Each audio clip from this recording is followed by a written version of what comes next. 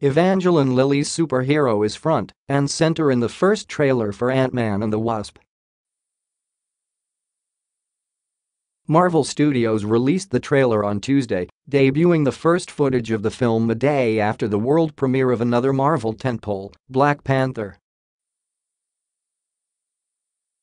The trailer opens with Paul Rudd's Scott Lang asking Lilly's Hope Van Dyne if she would have helped him, Captain America, and the Avengers crew if he had asked for aid. I guess we'll never know, she responds. But if you had, you'd have never been caught.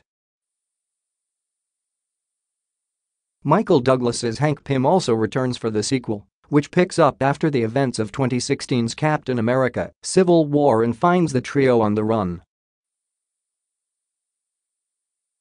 With the power to shrink and enlarge themselves and other objects, even a Hello Kitty Pez dispenser can be used as a deadly tool.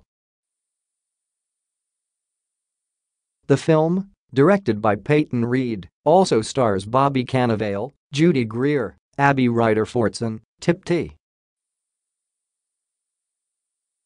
I. Harris, David Dastmalchian, Walton Goggins, Randall Park, Laurence Fishburne, Hannah John Kamen, and Michelle Pfeiffer. Rudd told Variety at the Sundance Film Festival that it was a thrill to work with legends Pfeiffer and Douglas on the movie.